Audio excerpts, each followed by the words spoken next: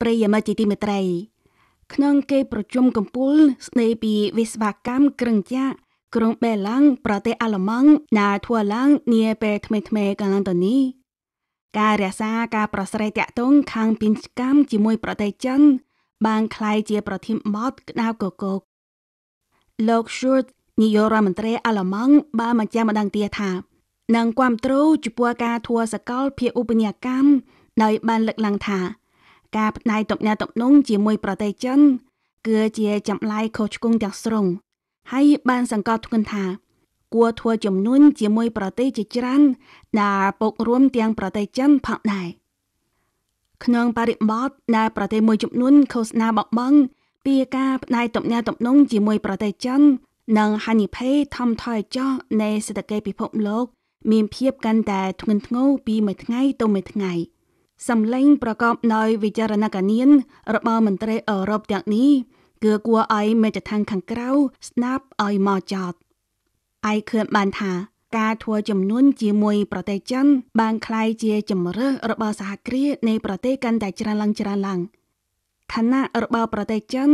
ដែលត្រូវគេប្រៀបប្រដូចជាទីផ្សារពិភពលោក និងជារោងចក្រពិភពលោក ជាកត្តាដ៏សំខាន់ទាំងពីរ។ ប្រការនេះមិនត្រឹមតែបានកែលម្អជីវភាពរស់នៅរបស់ប្រជាជនចិនប៉ុណ្ណោះទេថែមទាំងក៏បានផ្ដល់ឱកាសអភិវឌ្ឍកាន់តែច្រើនដល់បណ្ដាប្រទេសនានានៅលើពិភពលោកផងដែរមិនដល់មួយខែទៀតពីពណ៌នាំចូលចិនអន្តរជាតិលើកទី5ចិត្តនឹងប្រារព្ធធ្វើដល់ពេលនោះនឹងមានសហគ្រាសលំដាប់កំពូលទាំង500នៅលើពិភពលោក និងសហគ្រាសធំនិងសំខាន់ចំនួនជាង280សហគ្រាសនឹងចូលរួមពិព័រណ៍លើកនេះដែលអត្រាចូលរួមម្ដងទៀតនៃសហគ្រាសទាំងនេះគឺដល់ទៅជិត90%តាមការប៉ាន់ប្រមាណផលិតផលប្រកបដោយគុណភាពខ្ពស់មកពីប្រទេសកាន់តែច្រើនឡើងច្រើនឡើងនិងដើរលក់ក្នុងទីផ្សារចិន